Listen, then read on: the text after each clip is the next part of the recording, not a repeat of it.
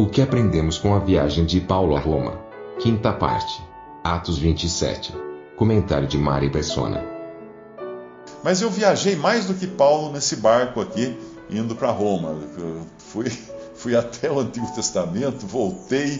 Mas então, só para só uh, terminar o pensamento aqui, o Senhor então assegurou a Paulo que eles iam chegar, e no versículo 6, eles então pegam o navio de Alexandria, Alexandria para ir para a Itália. Por muitos dias navegássemos vagarosamente, chegando apenas de fronte de Cnido, não nos permitindo o vento ir mais adiante. Navegamos abaixo de Creta, junto a Salmone, custeando dificilmente, e chegamos a um lugar chamado Bons Portos, perto do qual estava a cidade de Lazéia. Aqui é, é, que Paulo tem, ele passado muito tempo e sendo já perigosa a navegação, e depois também o jejum já tinha passado, Paulo os admoestava, dizendo: Senhores, vejo que a navegação há de ser incômoda e com muito dano, não só para o navio e carga, mas também para as nossas vidas. Mas o centurião cria mais no piloto e no mestre do que no que Paulo dizia. E como aquele porto não era cômodo para invernar, invernar o que seria? Eles teriam que parar e ficar por ali um bom tempo para passar o período das chuvas e da, do vento e das tempestades. Uh, o período invernal, né, o período de inverno, que, que era o mais perigoso para navegar. Os mais deles foram de parecer que se partisse dali para ver, que se partisse dali para ver se podiam chegar a Fenice, que é um porto de Creta que olha para o lado do vento da África e do Coro e invernar ali. Então, bons portos eram eram portos de bom tamanho, não é? Porque Paulo admoesta eles.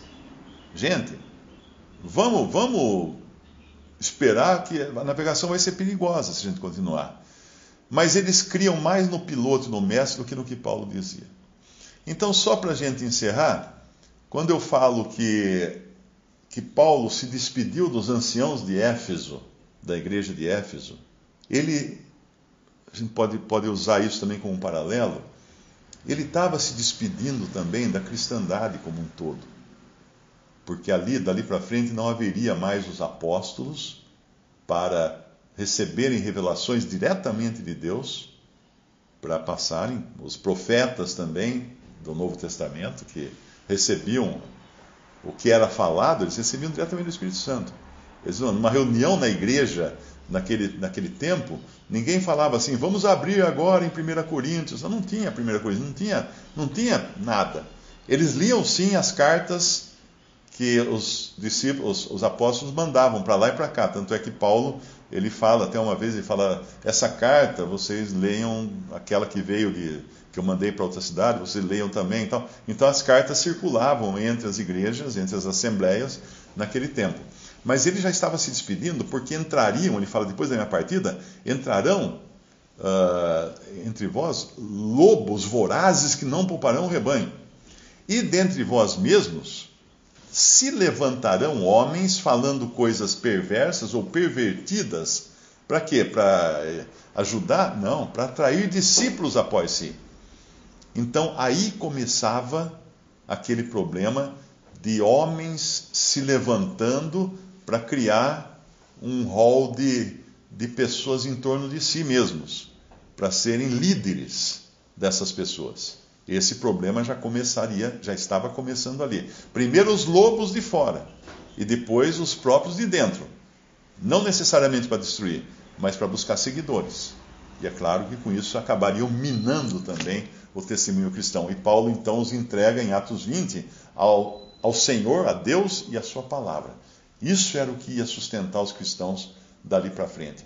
E quando nós vemos aqui eles recusando o conselho de Paulo, é mais ou menos o que Paulo fala em 2 Timóteo, quando ele fala até dos irmãos, ele fala: todos me abandonaram. Todos me abandonaram. A cristandade hoje é uma cristandade que abandonou Paulo, que ela está seguindo os conselhos do, do piloto e do mestre.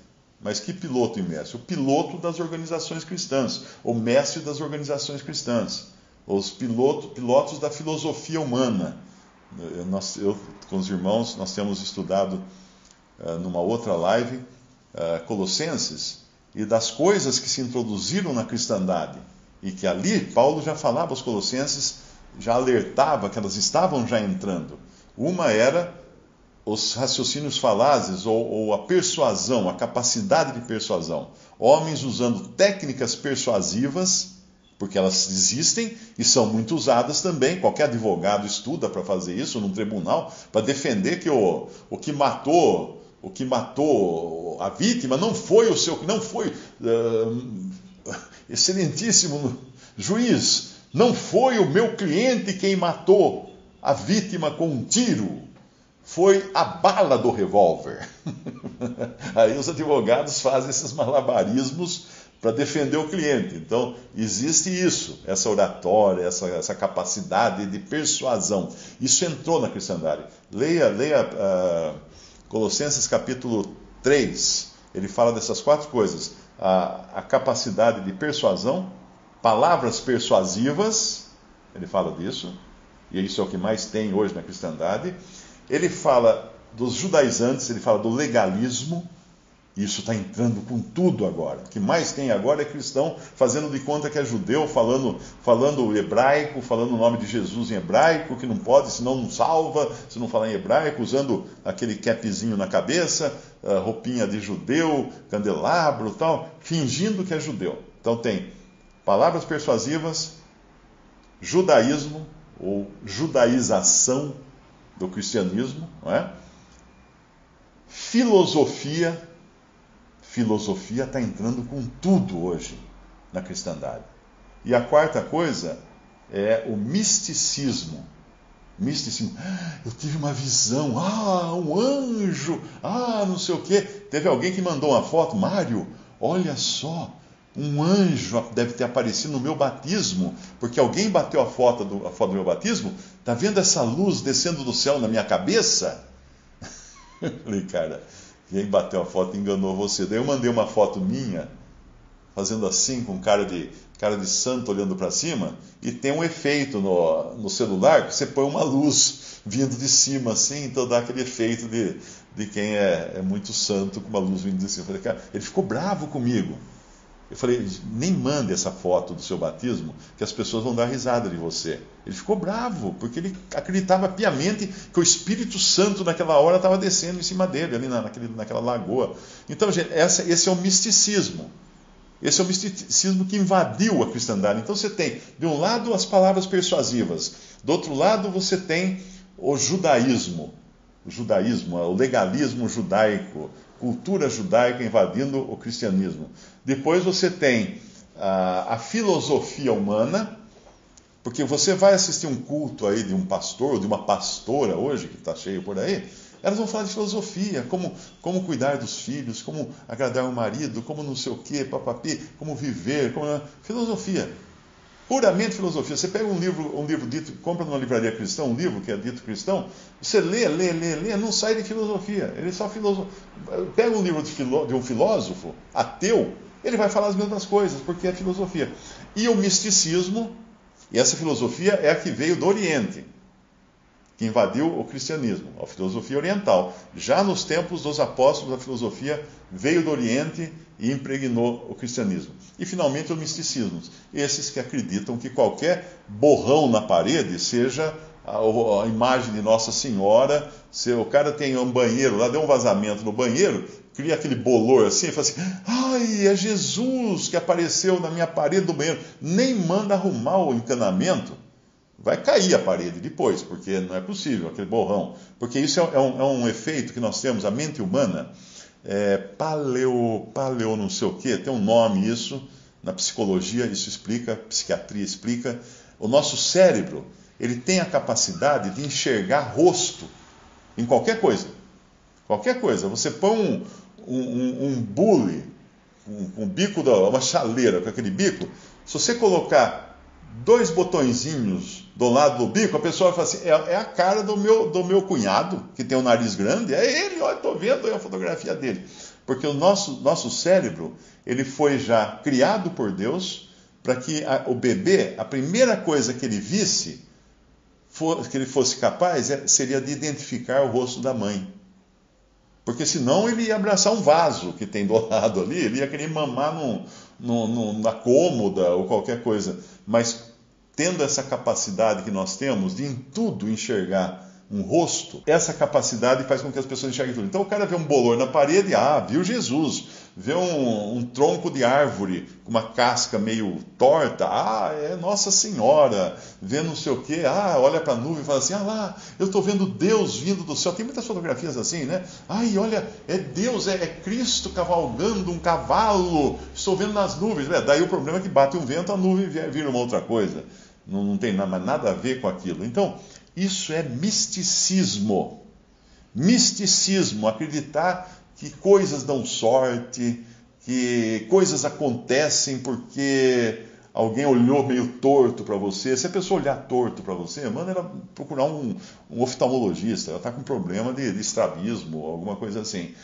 Mal olhado, mal olhado, manda também procurar um médico, né? Não, ele veio com olho gordo. Bom, então manda pingar aquele a, a, açúcar em, em gotas uh, que não tem, não tem saca, aquele que não engorda, né? Aqueles negócios que pinga no café, manda pingar no olho, aí não vai ficar com o olho gordo, vai ficar com o olho mais magro. Então fuja de tudo isso, fuja dos pareidomia. Isso, pareidomia, essa é a palavra que eu queria achar agora. Então fuja de tudo que é misticismo, de tudo que é místico, de tudo que é supersticioso de tudo que faz achar que existem forças conspirando contra. A pessoa pergunta para mim assim, mas escuta, essa semana fizeram magia negra para mim. Eu falei, meu amigo, se fizeram, que se dane a magia negra. Se você é um crente realmente em Cristo Jesus, um salvo, nada, nem o Satanás pessoalmente pode fazer mal a você sem antes pedir permissão a Deus, como ele precisou fazer com Jó para pôr a mão em Jó, ele precisou da autorização de Deus. Então descanse. E se Deus autorizar, vai ser para o seu bem, não vai ser para o seu mal. Percebe?